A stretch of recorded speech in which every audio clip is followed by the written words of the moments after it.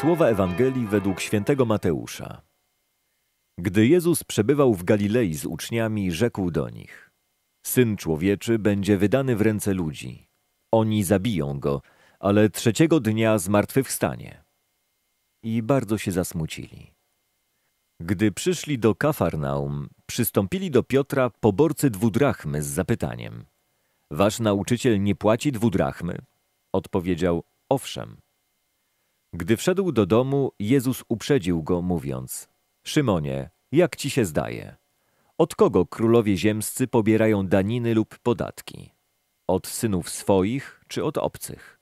Powiedział: Od obcych. Jezus mu rzekł: A zatem synowie są wolni. Żebyśmy jednak nie dali im powodu do zgorszenia, idź nad jezioro i zarzuć wędkę. Weź pierwszą rybę, którą wyciągniesz, i otwórz jej pyszczek znajdziesz statera.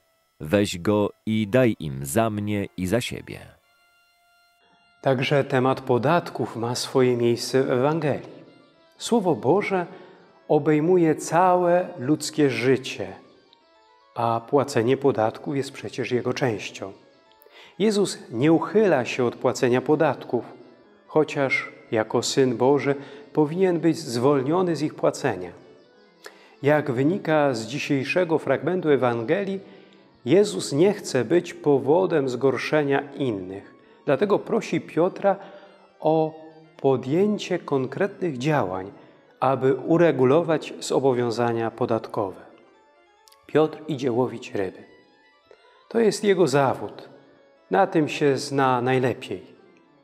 W pyszczku jednej z nich znajduje monetę dzięki której może on uregulować podatek za siebie i za Jezusa. Uczciwość jest cnotą ludzi dobrych, szlachetnych i honorowych. Ten fragment pokazuje nam również, że Bóg jest gotów zatroszczyć się o wszystko w naszym życiu, nawet o podatki. Ryba z monetą w pyszczku jest symbolem tej troski Boga o każdą sferę naszego życia. Zaskakujące jest, że ryba miała dokładnie odliczoną sumę należności podatkowej. To nie mógł być przypadek. To zrządzenie opatrzności Bożej.